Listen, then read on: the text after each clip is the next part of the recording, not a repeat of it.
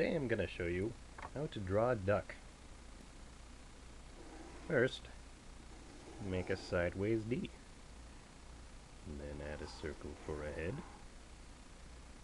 Two forks for the legs.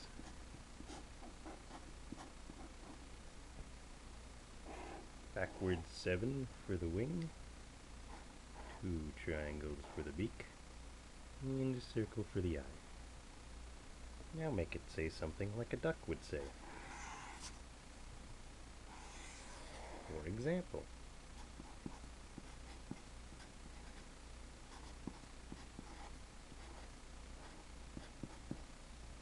and that's how you draw a duck.